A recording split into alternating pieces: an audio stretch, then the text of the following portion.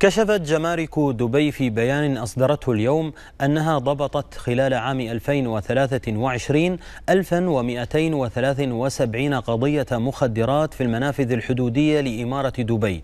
هذا وتضع جمارك دبي حماية المجتمع من المواد المخدرة والممنوعات في قمة أولوياتها وأن خطتها الخمسية 2021-2026 تسعى نحو ريادة الجمارك الآمنة عالميا. إذ أولت هذه المهمة أهمية كبيرة في ظل المخاطر المتزايدة التزاما بواجبها الوطني وإيمانا منها بالضرر البالغ للمخدرات على أمن وصحة الفرد والمجتمع.